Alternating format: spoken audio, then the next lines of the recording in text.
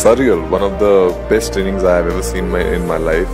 Uh, I would call it outstanding, especially considering that uh, the next best score wasn't even 40, and the fact that he got uh, double hundred was a knock at a very very high level. I think he was he was um, totally in his element today, and today he showed why uh, so many people have been saying such great things about him for years, and uh, I wish him all the best.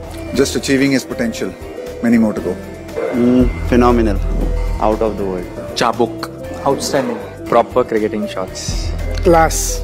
Pure class. Super and जो मैंने उससे कल रात को बात किया था आज उसने वो चीज़ किया outstanding no something which was expected i think the kind of batting he does i was expecting this to happen Well, it was definitely unreal. Uh, it was an amazing effort from him, and it was obviously a treat for all of us to you know actually watch the entire knock, and uh, it was truly unreal. I hope that he uh, builds on this. And uh, today was just a privilege to watch him bat. It was uh, outstanding.